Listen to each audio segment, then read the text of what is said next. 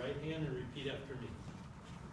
I, Jackie M. Betts, I, Jackie M. Betts, do solemnly swear do solemnly swear that I will faithfully perform that I will faithfully perform the duties of the office of Newberg City Manager, the duties of the office of Newberg City Manager, that I will support the Constitution that I will support the Constitution and laws of the United States and laws of the United States and state of Oregon, and state of Oregon, and that I will support the ordinances, and that I will support the ordinances, Newberg Municipal Code, Newberg Municipal Code, and Charter of the City of Newberg, and Charter of the City of Newberg, so help me God. so help me God.